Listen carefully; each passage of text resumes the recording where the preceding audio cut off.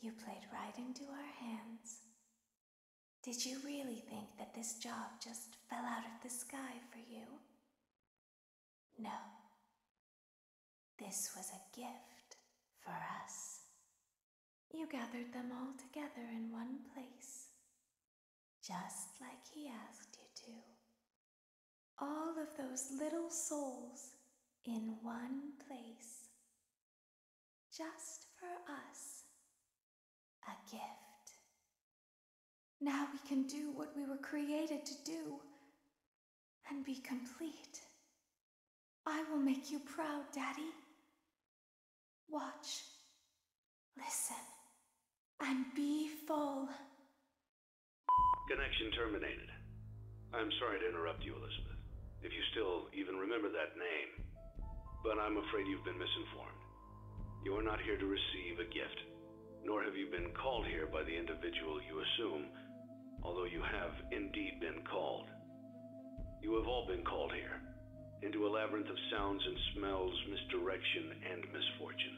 A labyrinth with no exit, a maze with no prize. You don't even realize that you are trapped.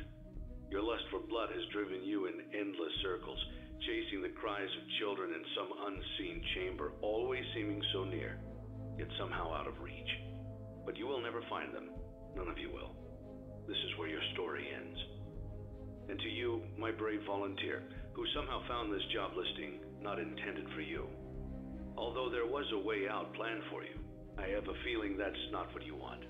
I have a feeling that you are right where you want to be. I am remaining as well. I am nearby. This place will not be remembered, and the memory of everything that started this can finally begin to fade away, every tragedy should.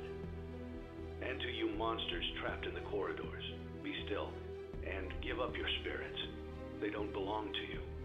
For most of you, I believe there is peace, and perhaps more, waiting for you after the smoke clears.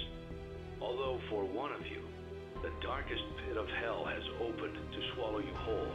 So don't keep the devil waiting, old friend. My daughter, if you can hear me, I knew you would return as well. It's in your nature to protect the innocent. I'm sorry that on that day, the day you were shut out and left to die, no one was there to lift you up into their arms the way you lifted others into yours. And then, what became of you? I should have known you wouldn't be content to disappear. Not my daughter. I couldn't save you then. So let me save you now. It's time to rest for you and for those you have carried in your arms. This ends, for all of us, in communication.